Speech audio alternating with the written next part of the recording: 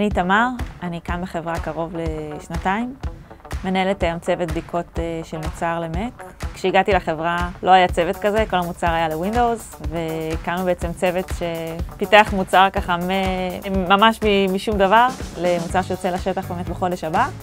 יוצא לי בעצם לעבוד עם אנשים מקסימים שעושים עבודה מאוד רצינית ומשקיעים במוצר הזה כדי לתת מוצר טוב ללקוחות.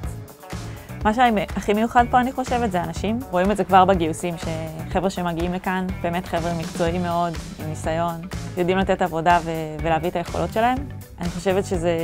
יש הרבה חברות פה מסביבנו פה בתל אביב, אבל באמת, היתרון פה זה שאתה באמת מרגיש את זה ביום-יום. אני מאוד נהנית לבוא לעבודה, ואני מרגישה שכל אחד בצוות שלי בא בכיף ויש אווירה טובה, ו... מבחינת תרבות ארגונית, אני יכולה להגיד שיש פה מקום ככה לכל אחד לעשות את היוזמה האישית שלו, אם זה במובן של חדשנות, אם זה יוזמה אישית שמישהו לוקח על עצמו איזשהו רעיון ולפתח אותו. מאוד מקבלים את זה פה, אני חושבת שכל המנהלים פה מאוד מעודדים את זה.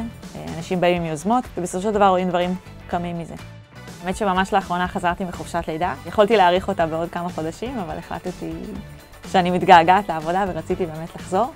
יש לי תינוק חמוד בבית והשארתי אותו שם, אבל אני באמת באתי בחזרה לעבודה ממקום מאוד עם ציפייה ושמחתי לחזור.